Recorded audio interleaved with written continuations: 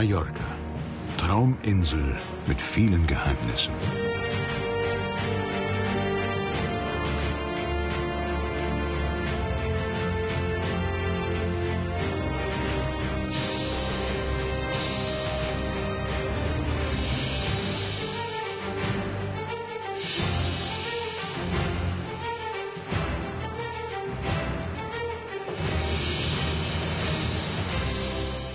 Das Kap Formentor im Norden Mallorcas ist ein grandioses Beispiel für die wilde Seite der Insel. Die Einheimischen nennen diesen Ort hier Treffpunkt der Winde. Aber es geht noch ein bisschen wilder. Abenteuer Mallorca, zweiter Teil. Spektakuläre Schluchten und verwunschene Täler werden wir mit unserem Planet E Zeppelin aus der Luft erkunden. Vom Himmel geht's dann sogleich in die Unterwelt. Mallorca ist ein Paradies für Höhlenforscher. Alles in allem ein ziemlicher Kontrast zu Strandurlaub und Ballermann.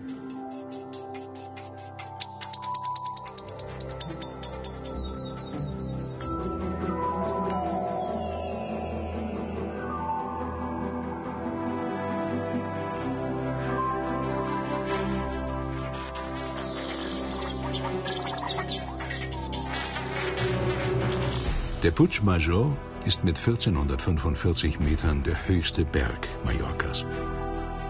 Seit 1958 militärisches Sperrgebiet.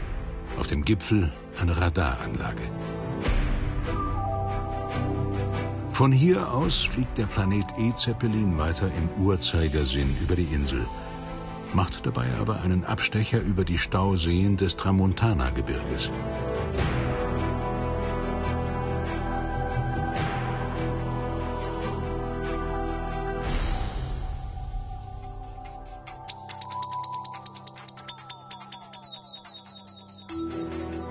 Das Santuari de Santa Maria de Yuc gilt als spirituelles Zentrum der Insel. Durch den Kult um eine schwarze Madonnenfigur, der Sa Morenita, hat das Heiligtum auch überregional Bedeutung erlangt.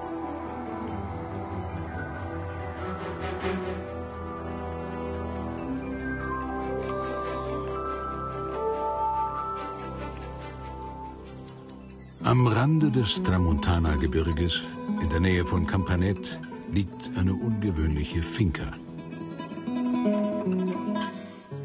Geier sind sein Leben. Juan José Sanchez betreibt eine Schutzstation. Es ist wichtig, Mallorcas Geier zu schützen, besonders unsere Population an Mönchsgeiern. Sie sind die letzten auf der Welt, die auf einer Insel leben. Die Tiere sind über einen Meter groß, die zweitgrößten Greifvögel Europas. Zusammen mit zwei deutschen Helfern kümmert sich Sanchez um die Tiere. Sie werden gezählt, gemessen und gewogen. Immer dabei Christine Fennebusch. Ein ehrenamtlicher Job. Die Tiere bei uns in der Voliere, das sind alles Tiere, die verunfallt sind. Oftmals sind sie in Elektrizitätsleitungen geflogen oder in Windräder ist eine große Problematik, weil die Tiere suchen sich vor allen Dingen Landbrücken, um zu fliegen. Und dort stehen oftmals Windenergieparks, Anlagen. Und wenn sie dort reinkommen, ist es so, der Geier wiegt ungefähr 12 Kilo und wenn er von der Windböe erfasst wird, dann kann er dem nicht mehr ausweichen. Und das sind also häufige Gefahren. Neben Mönchsgeiern fliegen auch Gänse und Schmutzgeier durch das Tramontana-Gebirge.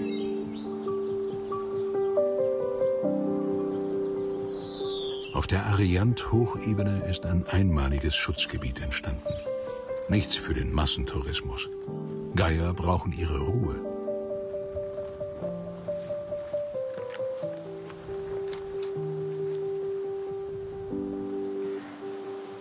Schaut mal dort oben. Da ist ein Geier.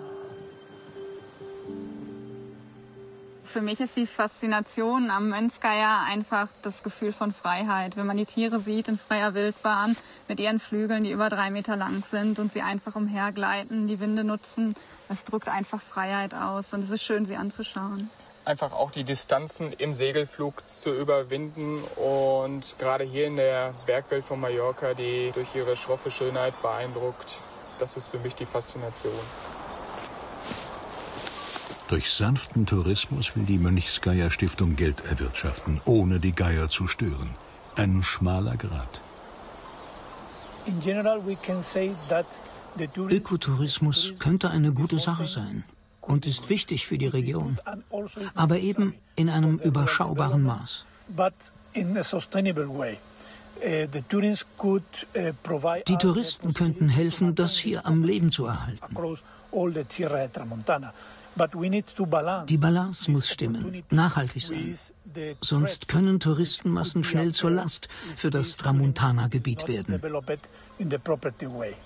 Gefährlich für den Mönchsgeier Nachwuchs. Wenn Wanderer stören, kommen die Elterntiere für eine Weile nicht wieder. Jungtiere sind dann der Sonne und Feinden schutzlos ausgeliefert. Nur ein verantwortungsvoller Tourismus kann die Mönchsgeier auf Mallorca bewahren.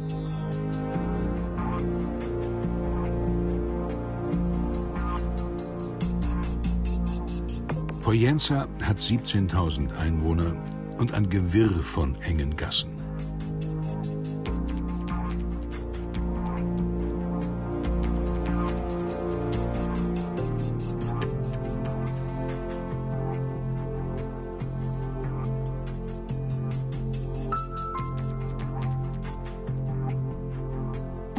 Die längste Treppe der Insel führt auf den Kalvarienberg, Wer sie bewältigt, wird mit einer wunderschönen Aussicht belohnt.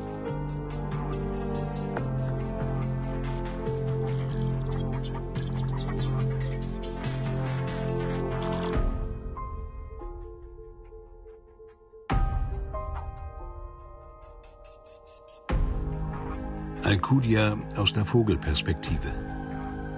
Die Meeresbuchten von Poyenza und Alcudia treffen hier aufeinander.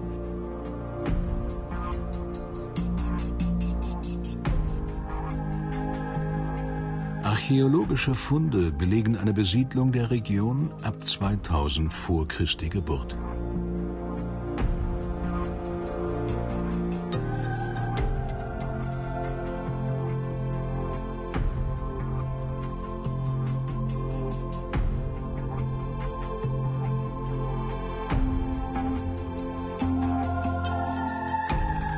Über 1600 Hektar groß der Parque Natural de Salbufera de Mallorca.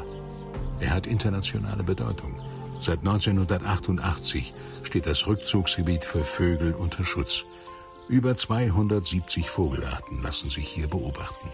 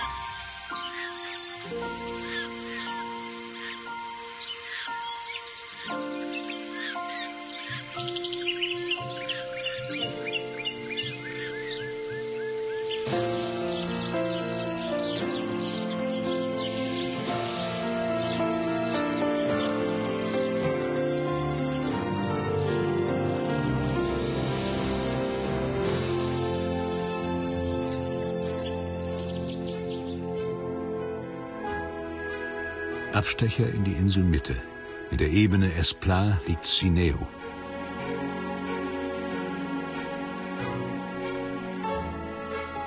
Im Zentrum die Pfarrkirche Nuestra Señora de los Ángeles.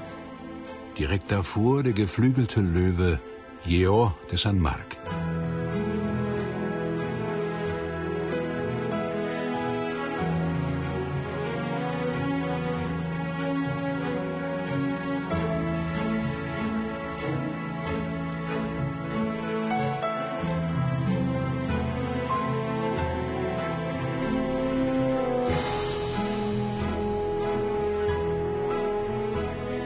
Artal liegt 60 Kilometer nordöstlich von Palma.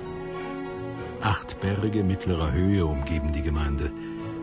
Doch zahlreiche Waldbrände haben den Lebensraum immer wieder zerstört.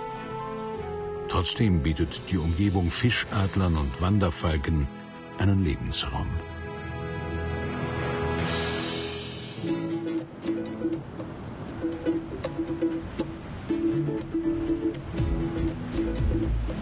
Wunderbare Strände und sogar Dünen machen die Umgebung von Arta zu einem der schönsten Badeparadiese Mallorcas.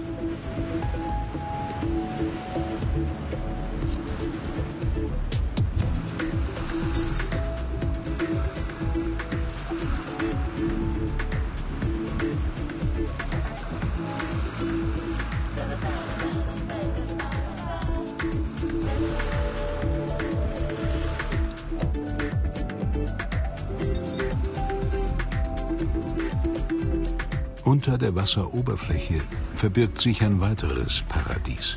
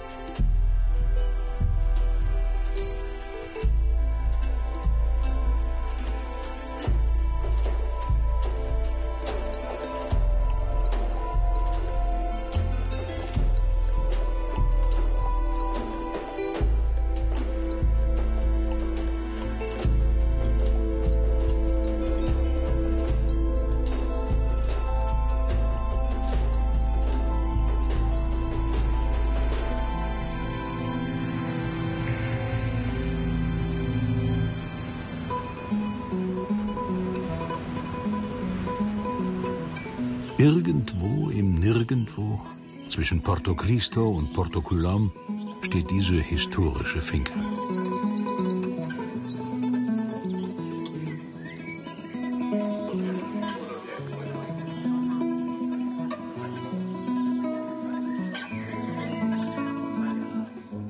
Er will abtauchen. Sie plant das größte Abenteuer ihres Lebens. Tobias Schmidt und Manuela Schoch wollen auf der Finca von Maria eine Höhle erkunden. Mallorca ist eine einzige Kalkplatte und durch die Auswaschungen gibt es viele, viele Höhlen. Und Mallorca ist wie ein Schweizer Käse. Es gibt viele Überwasserhöhlen, es gibt viele Unterwasserhöhlen. Und das, was uns interessiert, sind halt die Höhlen unter Wasser. Dschungelartig ist das Gelände rund um die Finca. Ein tiefes Loch in der Erde, der Eingang in die Unterwelt.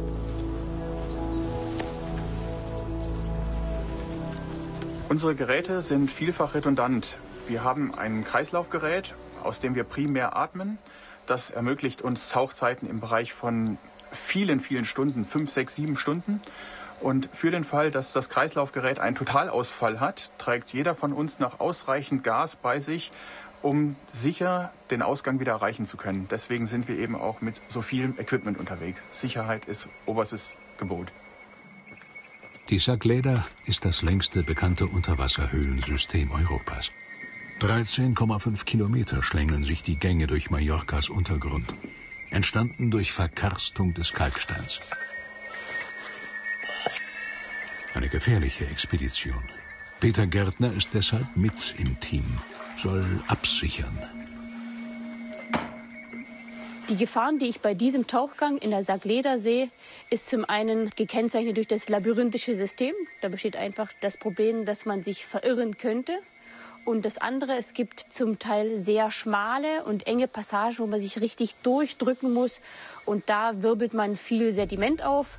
Da kann man die Leine verlieren oder einfach auch irgendwo stecken bleiben.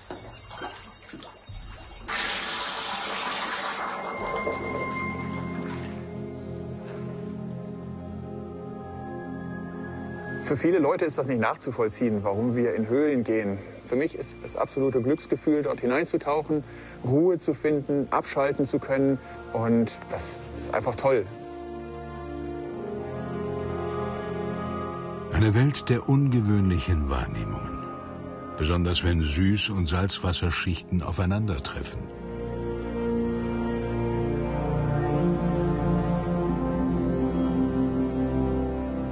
Ende faszinierenden Expedition.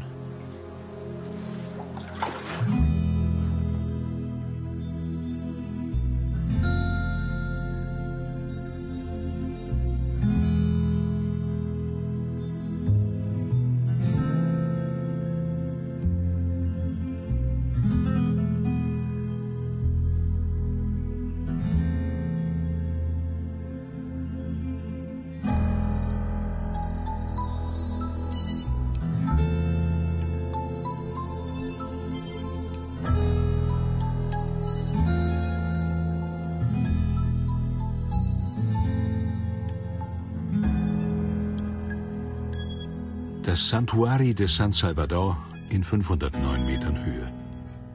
Früher eine Pilgerstätte, von Mönchen verwaltet. Pilgern ist heute immer noch möglich, doch die Mönche sind einem Hotel gewichen.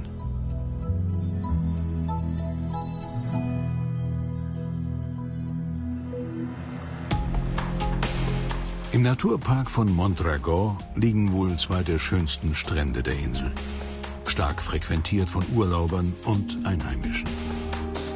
Trotzdem ist die Gegend ein kleines, fast karibisches Paradies und steht seit 1992 unter Schutz.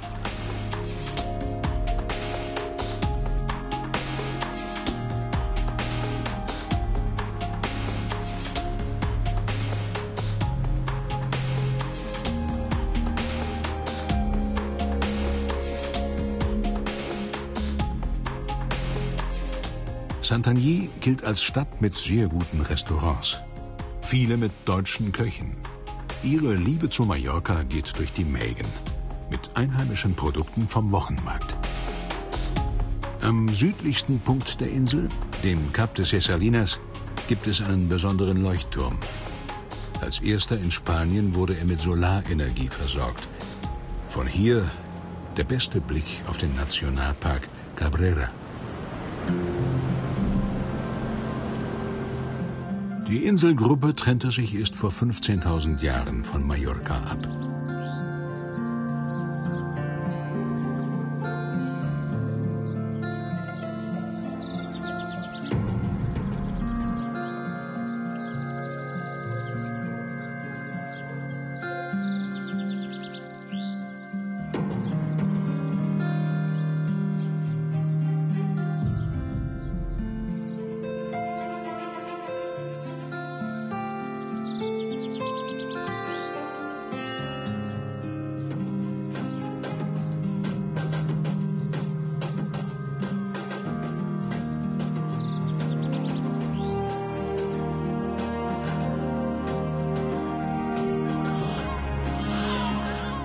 Besonders die große Korallenmöwenkolonie weckt das Interesse vieler Ornithologen.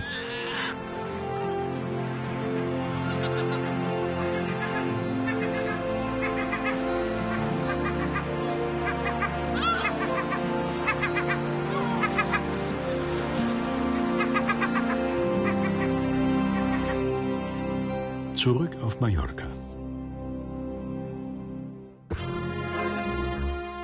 Campos, berühmt für seine Märkte und seine Feiern.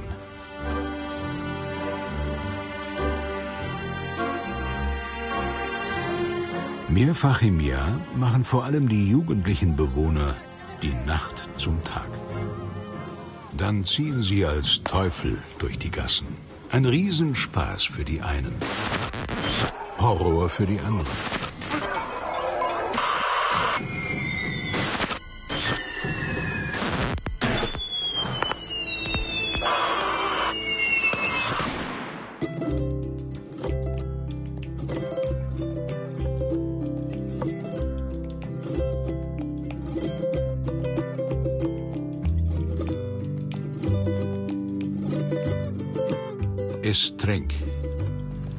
Kilometer Dünen und Sandstrand in einem Naturschutzgebiet.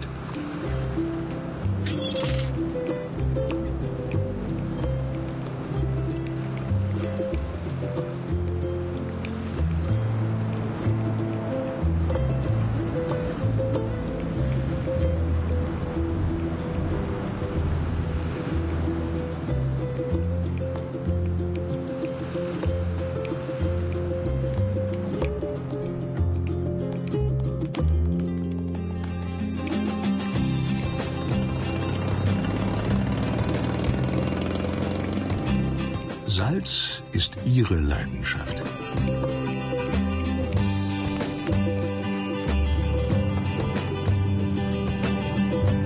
...2002 kam die Schweizerin Katja Wöhr nach Mallorca. Im Gepäck eine Idee. Das edle Flor de Sal zu ernten. Salzblumen, die unter besonderen Bedingungen auf dem Meerwasser entstehen.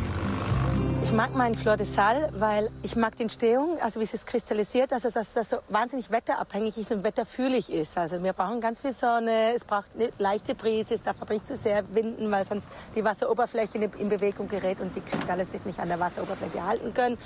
Es ist äh, zart. Ähm, äh, es ist extrem rund im Geschmack. Es erinnert mich so an, an, an Wert der Mutter Erde. Also es, es macht mich so erdverbunden. Berge von Meersalz. Die seltenen Salzblumen haben damit kaum etwas gemein. Flottesal entsteht an der Wasseroberfläche und es entsteht nur zu ganz spezifischen Wetterverhältnissen. Wir brauchen ganz viel Sonne, keine Luftfeuchtigkeit oder geringe Luftfeuchtigkeit und eine leichte Süd-Südostbrise. Und dann entstehen durch, diese, durch das Zusammenspiel von Sonne, Wind und Meer äh, die Salzkristalle an der Wasseroberfläche und die schwimmen an der Wasseroberfläche. Und die leichte Süd-Südostbrise stößt das dann am Beckenrand und dann bildet sich am Ende vom Nachmittag wie so eine dünne Eiskruste und die wird manuell mit dem Rechen abgetragen. Doch Katja Wöhr hat ihre Salzfelder mittlerweile verkauft. Häufiger ist sie jetzt in Sapobla, kauft besonderes Mehl beim letzten Getreidemüller der Insel. Das ist halt ein Urweizen aus Mallorca, der ist vor fünf Jahren wieder wiederentdeckt worden über die Slow Food Vereinigung und dann äh, rekultiviert worden in äh, Zusammenarbeit mit mehreren Biobauernhöfen auf der Insel. Und der ist nicht modifiziert worden die letzten 50 Jahre. Das macht den vom Geschmack her sehr nussig und vom gesundheitlichen Faktor her hat er halt alle Nährwerte drin, die, die ein Urweizen drin haben kann. Manchmal überrascht sie den Müller mit einem Sack Flor de Sal. Er gibt ihr Mehl. Beide Produkte zusammen ergeben eine neue Geschäftsidee, die nur funktioniert, wenn man die richtigen Kontakte auf Mallorca hat. Ich glaube, wenn man die Sprache spricht, das ist das Erste, dann hat man auf jeden Fall Zugang zu den Mallorquinern. Und wenn man dann noch etwas tut für die mallorquinische Gesellschaft oder die Wirtschaft, dann äh, äh, gewinnt man zum gewissen Respekt. In der Markthalle von Palma finden Salz und Mehl auf spezielle Art zusammen. Gegen unzählige kulinarische Köstlichkeiten muss sich das neue Produkt behaupten. Ein kleiner Stand, Katja Wöhr und die Auferstehung einer mallorquinischen Spezialität. Die Coca ist eigentlich Restverwertung vom Brotteig. Und das haben sie in den Ofen geschoben und ein bisschen Olivenöl drüber geträufelt. Und das ist so ein bisschen arme Leute essen gewesen damals. Und mittlerweile wird das so ein bisschen zelebriert als die mallorquinische Pizza. Eine Gegenbewegung zum uniformen und globalisierten Fastfood.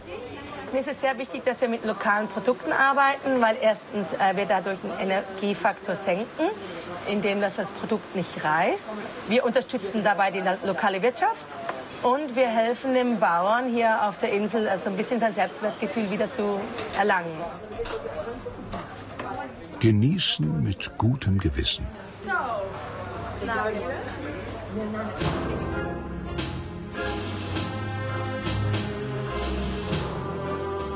In Sescovetas am Estrenkstrand müssen auch deutsche Investoren ihre Träume vom Leben in der Natur begraben. Illegal wurden die Häuser ins Naturschutzgebiet gebaut. Die Folge jahrelange Prozesse gegen eine Umweltschutzorganisation. Wer gesiegt hat, ist nun klar. Abriss der Schandflecke. Auf Mallorca ändert sich was.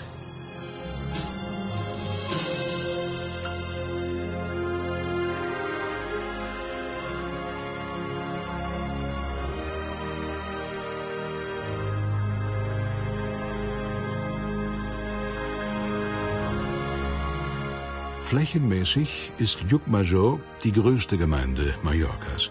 Beim Vorbeifahren wirkt die 36.000 Einwohnerstadt nicht besonders schön. Doch aus der Vogelperspektive entwickelt sie ihren ganz eigenen Charme.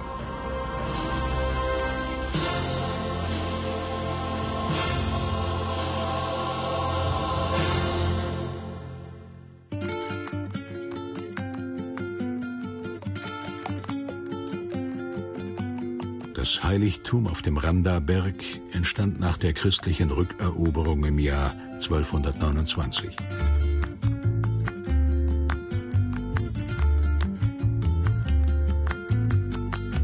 Heute befinden sich insgesamt drei Klöster auf dem Berg. Eines davon schmiegt sich wie ein Schwalbennest an die Steilwand.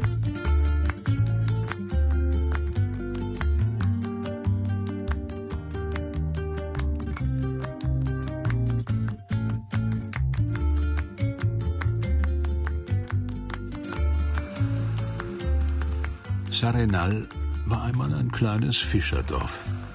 Es gab Dünen und jede Menge Natur. Und davon ist nichts mehr zu sehen. Epizentrum des Massentourismus.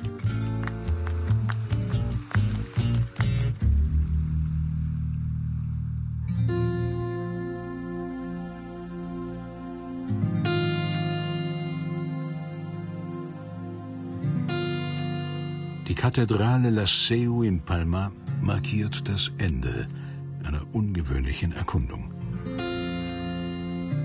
Massentourismus gegen wunderbare Natur. Vielleicht lehrt uns Mallorca, dass man manchmal Dinge opfern muss, um andere zu schützen.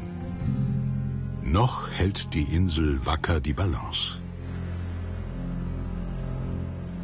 Unser Planet E-Zeppelin ist zurück in Palma. Das, was wir aus der Luft entdeckt haben, begeistert uns, fasziniert uns, aber stimmt uns auch ein wenig nachdenklich. Denn es braucht viel Energie und Überzeugungsarbeit, um die Schönheiten der Insel, eben dieses andere Mallorca, zu bewahren. Das geht nur mit gemeinsamen Konzepten von Naturschutz, Landwirtschaft und Tourismus. Genau hier steckt aber eine riesige Chance, Millionen Urlaubern ganz entspannt zu zeigen, dass es sich sehr lohnt, unser gemeinsames Naturerbe zu erhalten. Und das sehen Sie in der nächsten Folge von Planet E. Dämmen um jeden Preis. Deutschland isoliert sich. Hohe Kosten, Probleme mit Schimmel. Fragwürdige Einsparungen. Dazu Haltbarkeit und spätere Entsorgung völlig ungeklärt.